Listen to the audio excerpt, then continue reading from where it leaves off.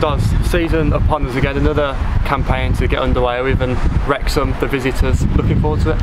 Yeah, um, obviously looking forward to um, start the season like always. Um, added incentive, obviously Wrexham's um, history over the recent years, massive club and obviously funding recently. So it's going to be a big game um, and massive bonus for us having the fans back in. That'll be, uh, you know, it's going to be a great occasion. Has the mindset changed going into it? Obviously we were due to play Dover and then it, I suppose we still had time to prepare, but obviously it's a different task in hand, isn't it? I think you know your mentality changed a little bit due to obviously personnel you're playing against, but um, you know, other than that, you know you stay professional and you know we, have got to go and do a job and get three points.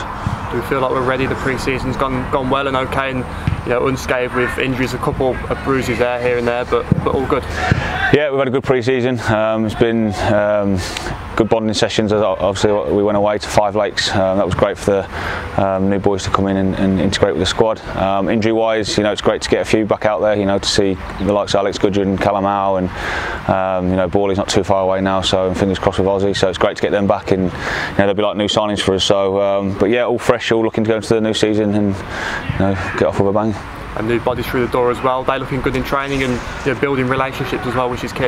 No, yeah, look, look sharp. Um, you know, some good experience in there with, with, with youth as well. Um, you know, and first and foremost, great personalities and characters. Um, you know, we pride ourselves on that and signing the right right characters. So, yeah, they fit in great. Um, you know, we're an easy bunch to get on with, and hopefully we can have a successful season important to get off to a, a, positive start and continue that home form and really make you know the home ground the fortress again this season.